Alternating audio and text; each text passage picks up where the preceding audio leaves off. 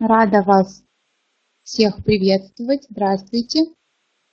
А, меня зовут Инкова Софья. Сегодняшняя тема у нас определение оптимальных сроков вязки сук.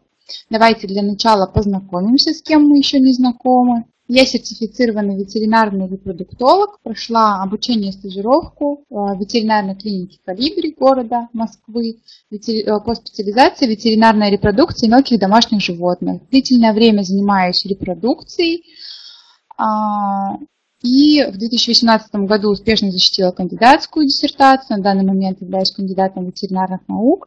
А на протяжении длительного времени занимаюсь ветеринарной репродукцией и со временем я основала авторский курс по обучению ветеринарной репродукции. Этот курс позволит а, вам обучить, э, обучиться специализации с нуля, то есть вы обучаетесь по программе курса, а, получаете сертификат ветеринарного репродуктолога и можете вставать на прием и вести вот приемы по ветеринарной репродукции. На данный момент а, я думаю, что вы знаете, насколько популярна эта специализация, насколько она важна, потому что многие заводчики ищут а, хорошего ветеринарного репродуктолога. И по своему а, опыту могу сказать, что отбоя от клиентов, можно сказать, нет, потому что очень популярна стала эта проблема. Сами представляете, если, например, там собаку а, привезли для того, чтобы повязать ее из какого-то а, другого города или из другой страны, она по какой-то причине не может забеременеть, то, конечно, в первую очередь обращаются к ветеринарному репродуктологу. Поэтому а, мой курс, он как раз-таки направлен на обучение моих коллег, а, и все те знания, которые я за все это время накопила, изучая иностранную литературу, ездя постоянно а, на различные семинары, все это я воплотила в жизнь и доступно все для вас, поэтому обращайтесь в Урал Биовед, у них это все есть. А теперь давайте все-таки приступим к теме сегодняшней заявленной. А, хочу сказать о том, что в принципе проблема, связанная с неправильным определением фертильного периода, то есть периода, когда собака может забеременеть, если будет коэтус, это наиболее частая причина бесплодия. Примерно 50% животных, которые обращаются ко мне на прием, с временным бесплодием. То есть они повязали один раз, ничего не получилось, второй раз, третий раз. А, хозяева уже отчаялись, они приходят ко мне на прием а, и ищут какую-то обязательно болезнь. Но вот очень часто происходит так, что мы обследуем собаку, не находим никакой болезни, у собаки все хорошо, вяжем в следующий раз с определением уже овуляции, и собака становится матерью. Поэтому я могу сказать, что это наиболее частая причина временного бесплодия и наиболее частая причина обращения к репродуктологу. Конечно, а, большой поток и с кабелями приходят, и с какими-то другими проблемами, связанными с репродуктивным трактом, но все же а, определение овуляции – это прям серые будни репродуктолога, так скажем. А зачем вообще нужно определять овуляцию? Ну, во-первых, неправильное определение дня овуляции является причиной, как я сказала, временного бесплодия в 50% обращения к репродуктологу. Во-вторых, от правильного определения фертильного периода будет зависеть количество щенков.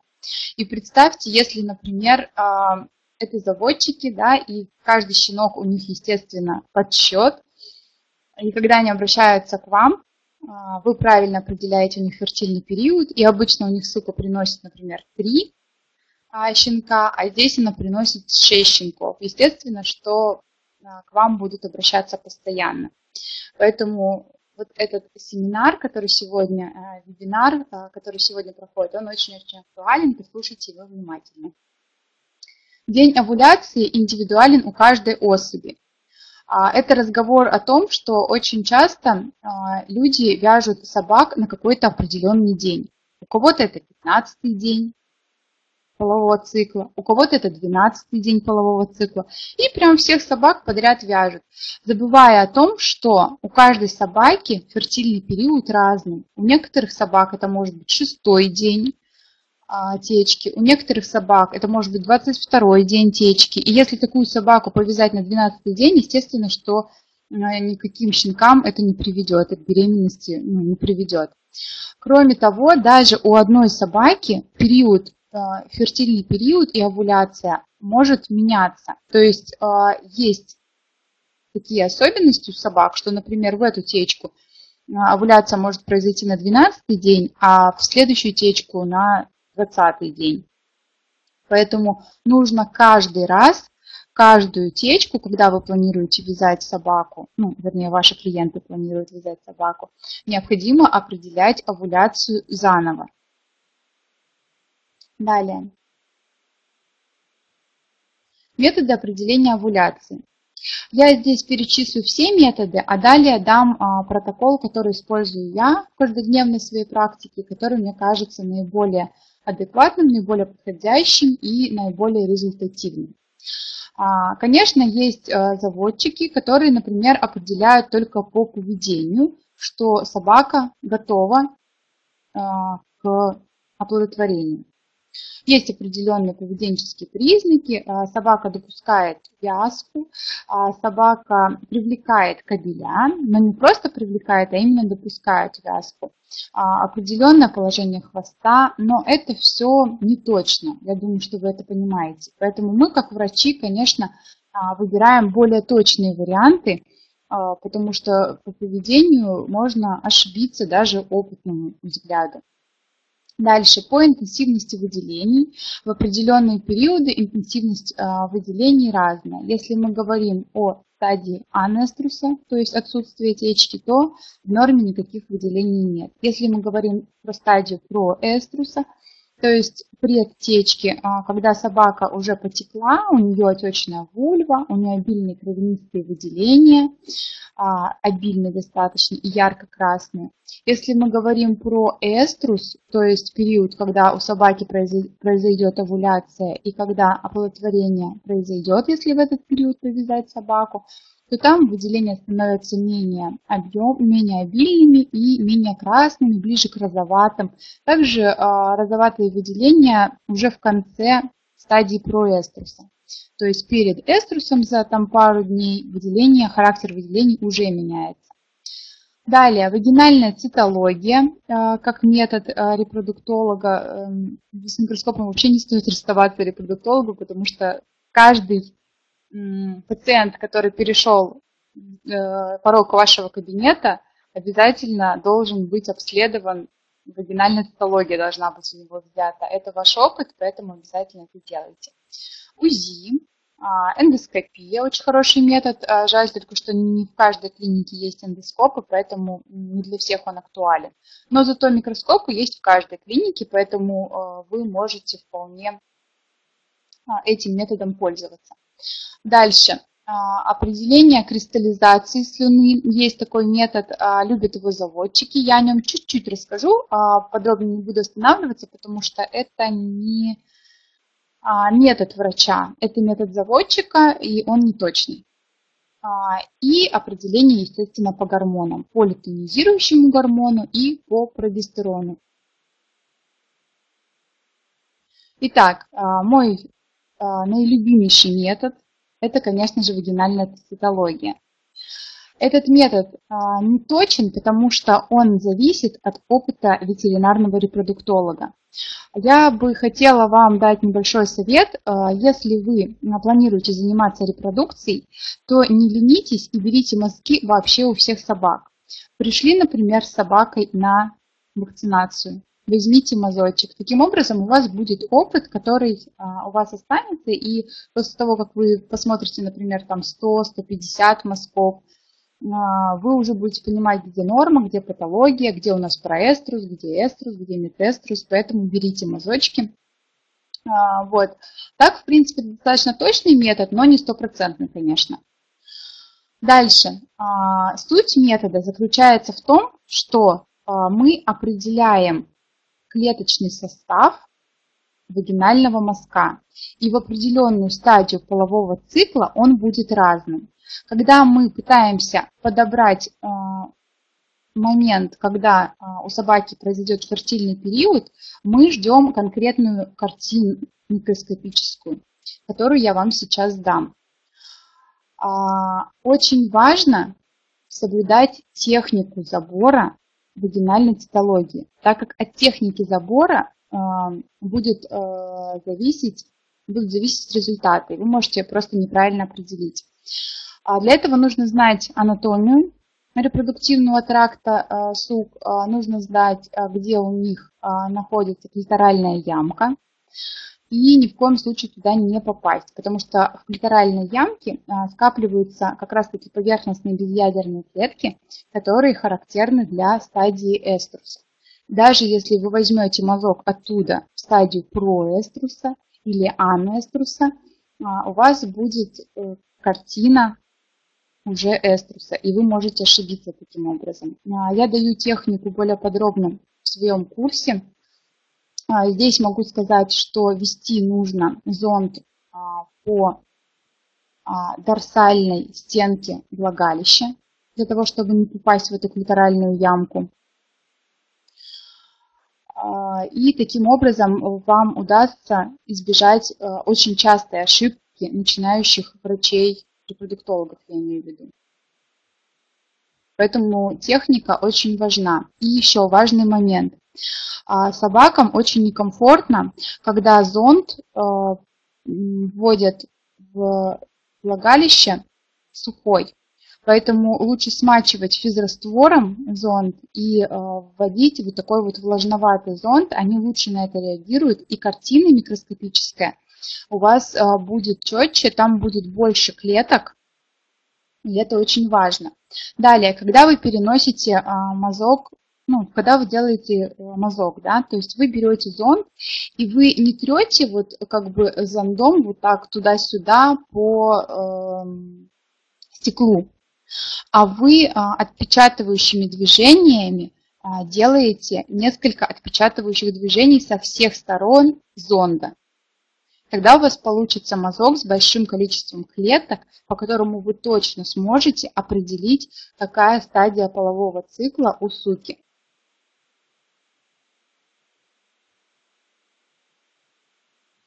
Итак, а, наверное, я скажу пару слов об анеструсе, потому что бывают случаи, когда а, по каким-то причинам нам приходится смотреть и суку в состоянии полового покоя, в состоянии анеструса – например, э, когда приходят э, с подозрением на вагинит, да, и нам приходится смотреть анеструс, э, стадию анеструса мазки. А, поэтому вы должны знать, что там должно быть в норме. То есть стадию анеструса должна быть слизь и единичные парабазальные клетки. Это вот такие. Но вот видите, в проэструс их много, а в анеструс их прям единицы. И слизь, те же слизи. Это в анеструс. Далее следующая стадия а, – это проэструс, это стадия предтечки. А, то есть супка уже течет, у нее есть кровянистые выделения из влагалища, но если в этот момент собаку повязать, то это будет насилие. А, в этот момент собака уже проявляет поведенческую реакцию кобелю, то есть она завлекает его, но при этом, при этом саму вязку не допускает. Я очень много историй э, слышу э, в своей практике о заводчиках, которых держ, которые держат бедных сук и вяжут их. То есть если собака по какой-то причине не допускает вязку, то одна из этих причин то, что вы вяжете собаку просто рано. Очень важно собаку вязать в эструс, потому что в проэструс это состояние, когда она уже понимает, что с ее организмом что-то происходит, гормоны уже начинают вырабатываться, но при всем при этом собака а, физически не готова к половому акту. Поэтому этот, э, в этот период вязка это будет психологическая травма для собаки, насильственная, так скажем. Никого держать не надо. Когда собака готова, она сама подпустит кобеля и допустит коитус, то есть половой акт. Итак, первая у нас а, стадия полового цикла – это проэструс. В проэструс мы видим а, интермедиальные клетки, мы видим парабазальные клетки, и мы видим большое количество вот это уже такой больше поздний проэструс, а, потому что у нас тут не так много эритроцитов. А в ранний проэструс будет прям а, все поле зрения в эритроцитах и будут интермедиальные и парабазальные клетки. Кроме того, в стадию проэструса вы можете увидеть прям метоз клеток, я очень часто его вижу, то есть будет одна клетка с двумя ядрами. Это является абсолютной нормой в стадию проэструса. Когда мы видим вот такую картину, ну вот, да, что-то похожее, но это больше на артефакт на самом деле похоже. А, когда мы видим такую картину, это говорит о том, что собаку вязать еще рано. То есть это еще проэструс, и нужно прийти на повторный мазок. Далее.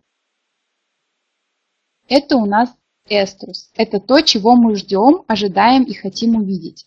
Смотрите, какие у нас клетки. У нас клетки а, либо безъядерные, да, поверхностные, с некрасивой, неровной стенкой, они угловатые, такие все треугольные и а, собираются конгломератами такими. Вот эта картина эструса, это значит а, нужно брать прогестерон, а, и а, для того, чтобы было заключение да, о том, что действительно собаки эструс, ну то есть а, так как получается у нас э, определение микроскопии это не стопроцентный метод анализа, лучше когда вы видите картину эструса, подтвердите ее забором сыворотки крови на прогестерон. Таким образом, если собака по какой-то причине не повяжется, ну, например, у кобеля может быть а, не очень качественная сперма, а, у вас будут циферные, числовые, цифровые численные значения а, того, что у собаки действительно был эструс.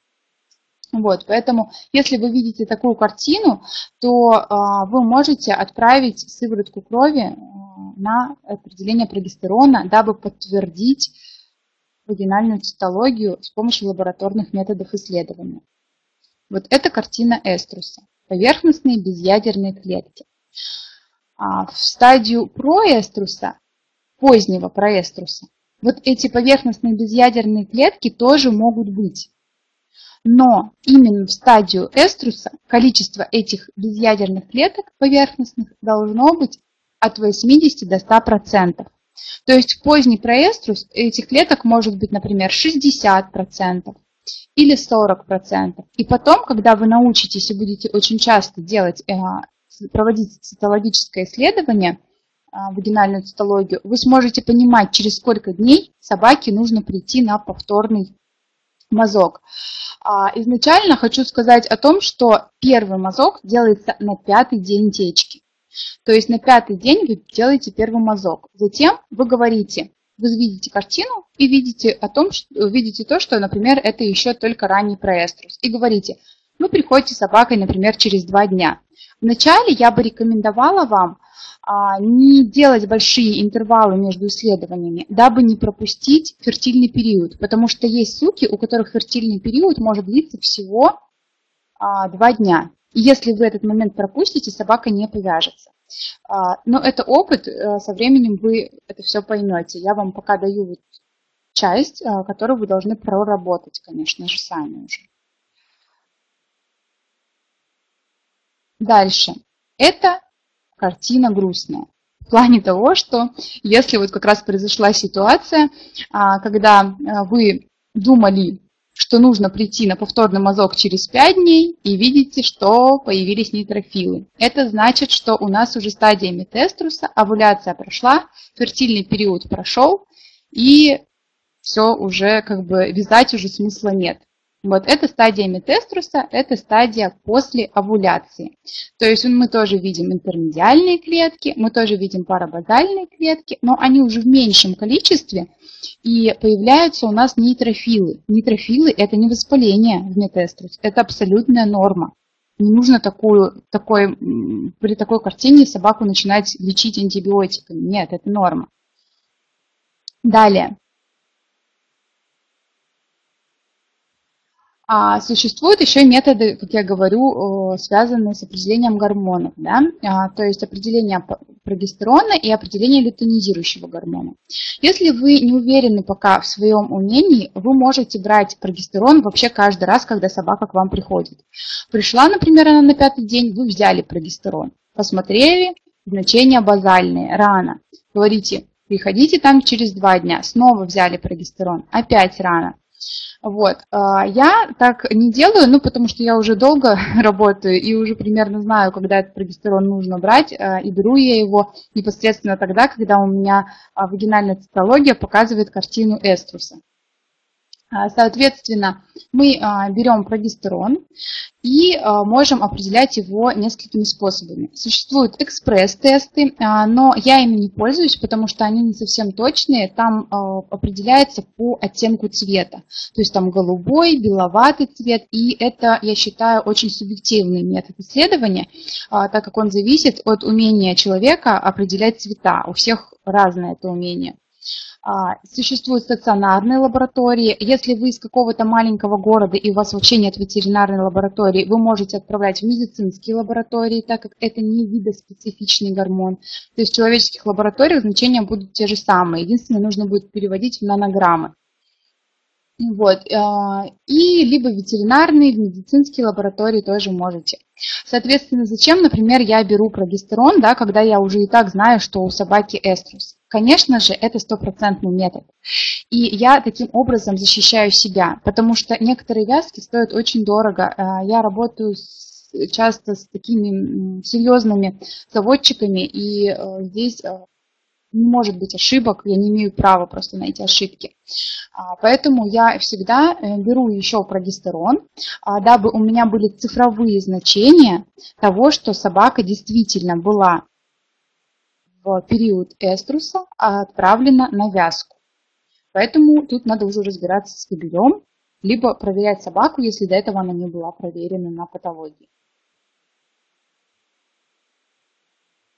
А, здесь я вам даю значение прогестерона, то есть а, я даю нанограммы миллилитр, а, существуют разные единицы измерения, с этим проблем нет. Если в человеческих лабораториях вам будут давать в наномолях, то в интернете есть обычный калькулятор, который переводит из, одной, из одних единиц измерения в другие, и это не проблема. Итак, 0,1 э, нанограмм на миллилитр – это базальное значение, это говорит о том, что вязать собаку рано. 1,3 нанограмма на миллилитр, это говорит о том, что произошел пик лютeinизирующего гормона. Это значит, нам нужно еще 48 а, часов на овуляцию, а потом еще а, от 24 до 48 часов на созревание ооцита. Поэтому если мы видим 1,3 нанограмма на миллилитр значение, значит мы повторяем, а, повторяем снова исследование – а, через 2-3 дня. Если мы видим значение 3-5 нанограмм на миллилитр, то это значит, что произошла овуляция.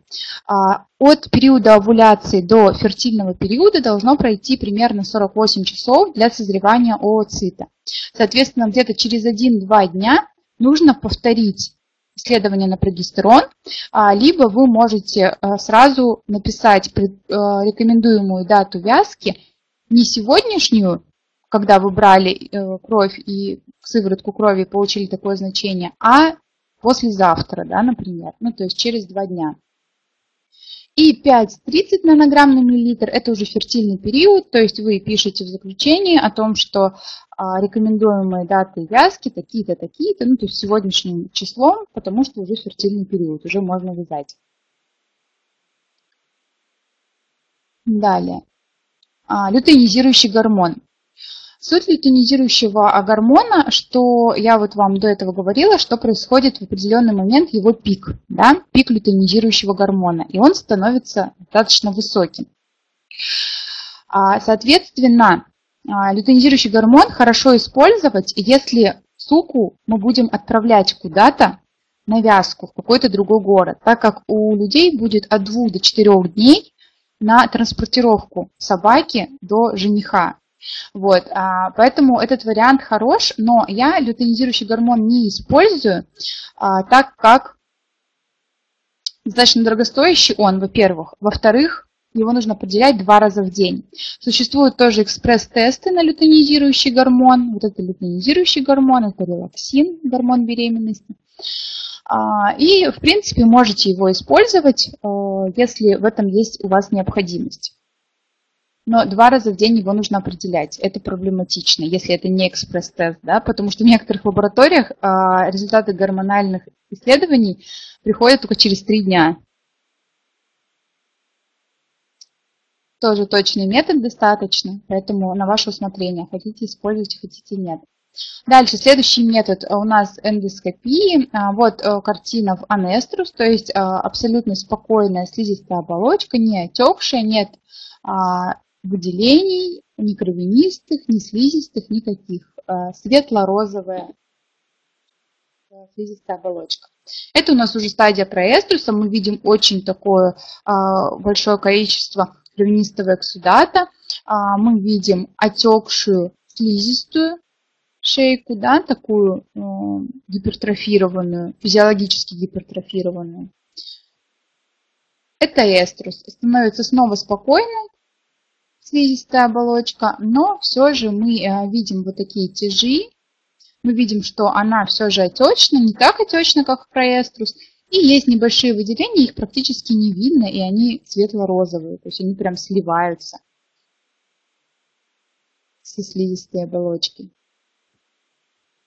И медэструс. Отек спал, мы видим просвет открылся, светло-розовая стенка. Это если, по, если эндоскопическими методами определять период овуляции. Дальше, УЗИ. Конечно, УЗИ имеет место быть. Здесь большое значение имеет э, уровень э, УЗИста.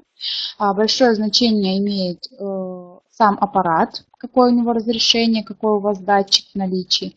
Если проэструс, то стадия проэструса выглядит так. Мы видим мелкие фолликулы, яичник только начинает формировать их.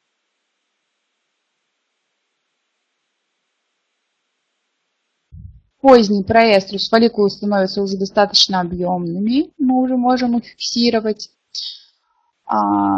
Сформированные фолликулы, они от 5 до 11 мм у собак. У кошек более точные промеры. У собак, сами понимаете, яичники разные, потому что на собака есть 2 кг, а есть собака 70 кг. Поэтому вот такие большие, большая разница может быть э, фолликулов в зависимости от размера собаки. Ну и вот овуляция. Это картина, которую мы ждем. Вот, на УЗИ можно проверить, если у вас есть сомнения. Например, у вас нет эндоскопа, но у вас есть микроскоп и УЗИ. Отлично. А, ну и кровь вы можете отправить да, на прогестерон определение. И а, последний метод, я так чуть-чуть о нем расскажу, потому что я говорю, это больше заводчики используют, я его не использую, это не стопроцентный метод исследования. А, суть в том, что а, берут слюну. А, дело в том, что слюна и шеечная слизь а, в результате действия эстрогена, она, а, а, как сказать, кристаллизуется.